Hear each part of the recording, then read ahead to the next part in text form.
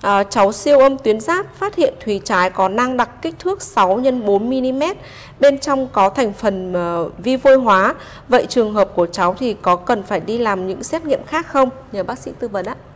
À, khi đi siêu âm, người ta phát hiện ra nhân tuyến giáp thì các bạn biết rằng nhân tuyến giáp là rất nhiều người bị.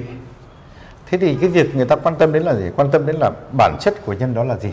Họ bản chất của nhân đó là gì? Thế thì uh, khi mà đi siêu âm thấy rằng là cái nhân này nó uh, có tính rất giảm âm rồi là trong nó có cái vi vôi hóa thì đấy cũng là một trong những cái dấu hiệu để mà uh, các bác sĩ sẽ phải cho bạn đi làm thêm những cái xét nghiệm nói về quan trọng nhất là gì vẫn là gì? Chọc tế bào. Bởi vì thường thường ấy là những cái nhân mà vi vôi hóa thì nó rất có cái giá trị uh, trong cái định hướng tới một cái bệnh ung thư trong cái phương pháp chẩn đoán hình ảnh. Cho nên là bạn nên chọc tế bào nên chọc tế bào. Đối với những cái nhân mà nó có vi vôi hóa à, nếu như chắc là bạn quan sát mà kỹ hơn thì à, các bác sĩ sẽ đánh giá xem là cái nhân này là tirat mấy ở độ mấy. Ví dụ người ta nói là à, tirat 3, tirat 4, tirat 5 chẳng hạn đấy. Nhưng cái việc chọc tế bào đối với bạn thì hết sức quan trọng. Vâng.